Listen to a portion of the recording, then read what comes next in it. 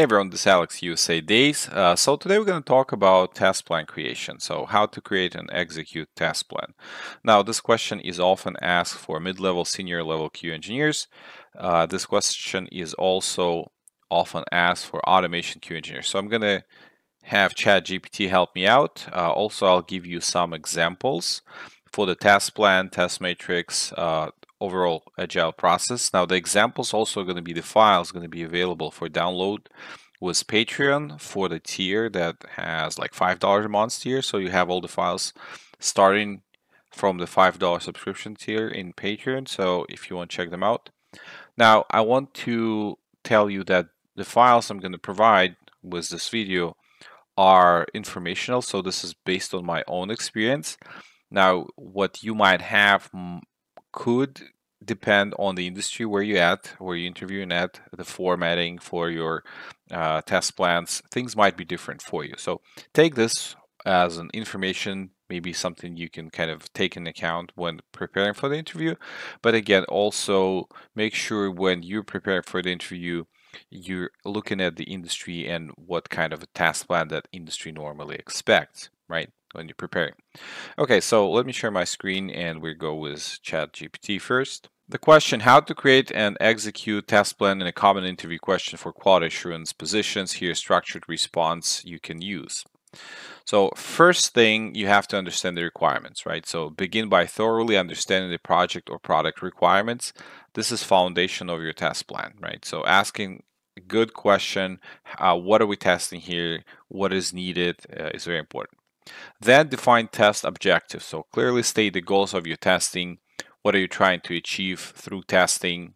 Then you have to identify the scope. Determine the scope of your testing, what features or aspects of the product will you be testing, be specific. Uh, then you have to gather necessary resources. So identify and gather the resources you will need for testing, such as test environments, test data, and testing tools. Then you want to plan test cases or create detailed test cases that specify what needs to be tested. Each test case should include input data, expected results, and step to execute. You have to prepare test data, ensure that you have the required test data, both valid and invalid, to conduct your test effectively. Automate or manual testing, decide which part of the testing will be automated and which will be done manually. Consider factors like efficiency and criticality. Uh, Step 8, document test plans. So create a comprehensive document that outlines the objective, scope, resources, schedule, and specific testing methodologies or standards to be followed. Uh, test 9. Uh, step 9, set aside test schedule. So set test schedule, establish timeline for your testing activities, prioritize tests based on critical features and project needs. Uh, and then 10, identify risks. So assess potential risks that could affect testing and develop a plan to manage or mitigate them okay? So then execution phase. So execute test cases so start running test cases. You defined ensuring that you follow the steps uh, meticulously. Uh, record test results uh, so document the outcomes of tests include both passes and failed test cases as well as any defects you discover. Regression testing. So after fixing defects we run the affected test cases and perform regression testing to ensure that new changes don't introduce new issues Status reporting. So regularly update your team and stakeholders about the progress of testing. This includes test execution status, defects found, and any deviations from the plan. Traceability. Ensure that your test cases are linked to the requirements they cover. This helps in traceability understanding test coverage. Uh, six, adapt to changes. Be flexible and adapt the test plan if required based on emergent issues, changes, requirements, or foreseen situations. And then seven, closure and reporting. Once all test cases are executed and exit criteria met, complete the testing phase and provide summary report of the tests and activities to stakeholder. Okay, so ChatGPT is giving pretty, you know, descriptive follow through plan as if you would do on the job uh, when you have a lot of time you get to prepare the test plan and execution. All of this is accurate, right? One thing though, if you're in the interview process, uh, what might be different, you know, you will not going to have all that time uh, to show all of this, right? Maybe they want you to provide a quick draft. Uh, so you don't want to start kind of okay i'm gonna have this big thing because it's gonna look like you're stalling right? If you have to deliver all of that explain all of that it's gonna be a lot. So uh, the very first thing that i would do and this is kind of covered here uh, is I would uh, start with asking, you know, for some clarification on the task, like um, how deep the task plan going to go. What kind of task plan are we talking about? Is there going to be like regression? Is that around specific module? Would you like images? Like how much of that stuff is going to be there, right, for the task plan. So once that cleared out, once you kind of clarified what is expected, then you can start working on the task plan. And here I would suggest you just uh, to create a high level documentation where you have a little set of test cases that you can provide and examples of the test plan. So high level documentation is test plan, some test cases within the test plan, maybe a bunch that you can show, uh, short descriptions for each test case, what they do, provide screenshots if needed, if the section is able, if, you know, if you're able to take a section of the uh, where the test is executed, uh, have like nice arrows and pointers showing of what is actually being done. Uh, so, um, and provide a couple positive and negative scenarios. All right, so that's what I would do during the interview. Now, let me give you some examples. Files are downloadable on Patreon, uh, starting from the uh, $5 tier, but I want you to see it now, and if you need to, to use those files as guidance, you can download it. Um, so let's take a look at the Word test plan first, right? So that's the one that I would kind of have as very kind of high level. Let's start on this test plan. So you have your test plan example, that's say login screen, prepared version here, paging, date, uh, whatever it needs to go here. So document history, release, uh, date, who's author, revision for the document. Then you have contents that's coming from the test plan.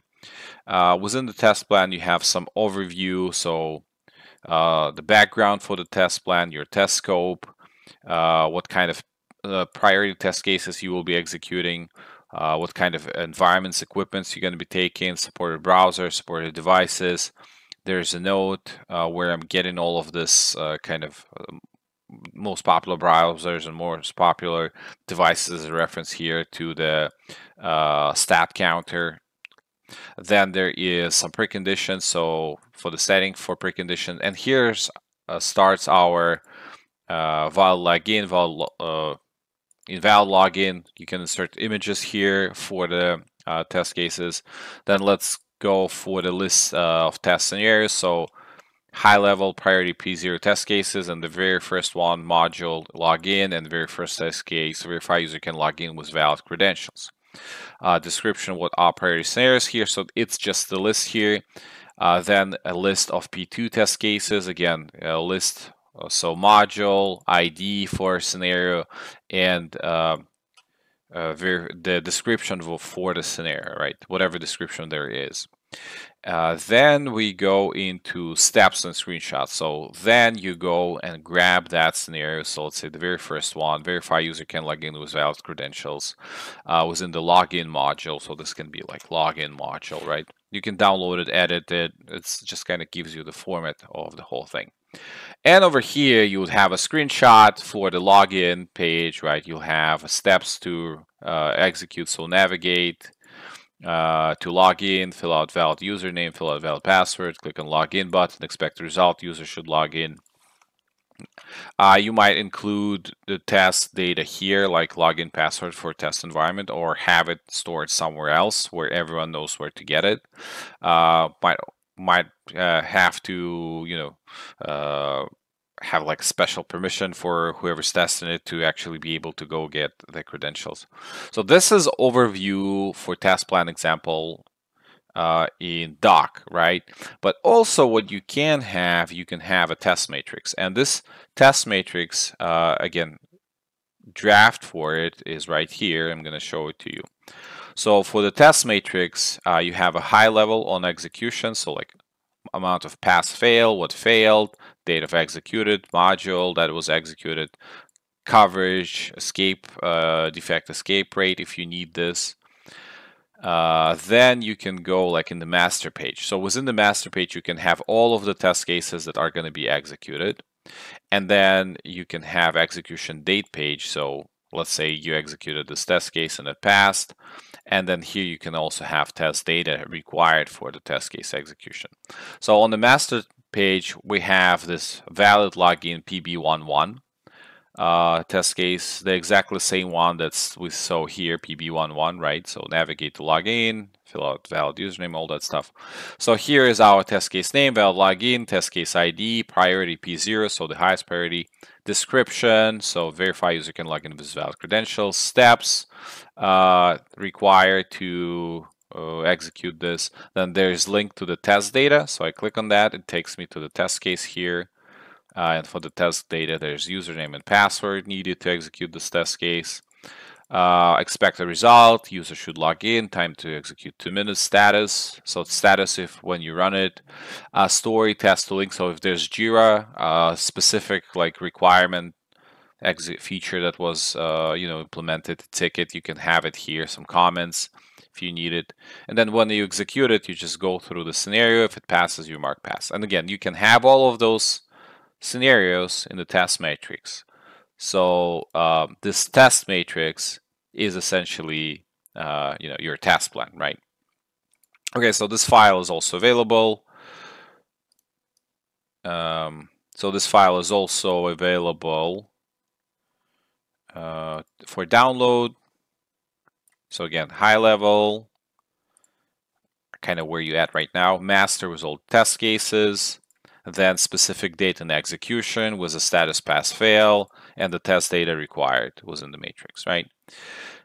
And uh, the last one that I wanted to share. So this is all about like you know, more of a structured approach in kind of a maybe like basic agile, classic agile, waterfall, more kind of regulated uh, corporate industry, right? If we talk about agile startup, uh, most likely you're not going to have time to create test plans and manage test plans.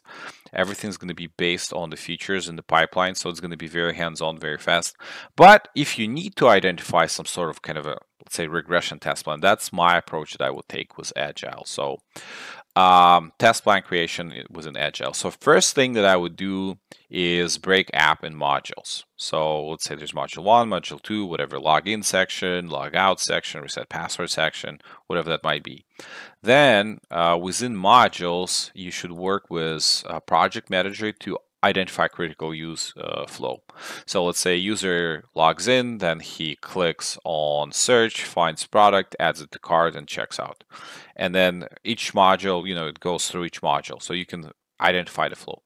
Then within the flow for each module, you can create high-level checklist for core functionality. Login, checked, searched, checked, added to cart, checked, paid, checked, um, product purchase checks, something like that. And then you can break as a final step, you can break this checklist uh, and kind of under this checklist, under each check, you can develop test cases based on the checklist. So uh, very high level checklist. Within that checklist, you start developing test cases, expanding them, like adding negative, positive within checklist for that functionality. So this way you can develop pretty uh, comprehensive test plan and being flexible and kind of cover core functionality. Okay, so hopefully this helps. I know it's a little bit a lot, but uh, you know, rewatch this video, take some notes, uh, try and kind of recreate. You can even pause the screen, and if you don't want to, to go on Patreon and type it out, uh, kind of just copy the test plan. So you have this template, uh, have a template of a test matrix try playing with some uh, app online and maybe go through like agile process like creating checklists and then within the checklist start creating test case see how it works for you. Again for interview question uh, normally you would not need to create a very long task plan and explain everything uh, because you're not going to have enough time. But what you really want to do first ask interviewer like what is expected what are you looking for what are we focusing on then based on that information you can define like a scope for your test plan what needs to be covered and then create some test cases some examples. So a couple modules within those modules positive negative test cases coverage the outcome again steps uh, in each test case um, expected results. That should be enough. All right so this was alex usa days. Uh, thanks for watching and bye bye